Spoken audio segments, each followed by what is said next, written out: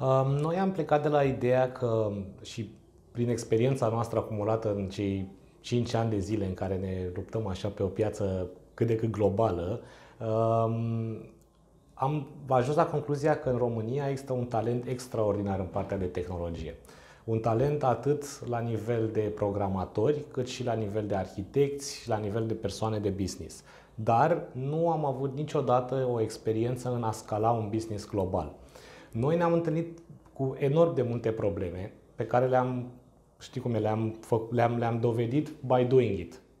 Și atunci am zis, de ce să nu ajutăm ecosistemul românesc de așa natură, având în vedere că există acest talent și știm că sunt atâtea companii care își deschid share service-uri aici, mai ales pe partea de IT. Și practic București a devenit noul IT hub al Europei, uh, detronând Praga, practic.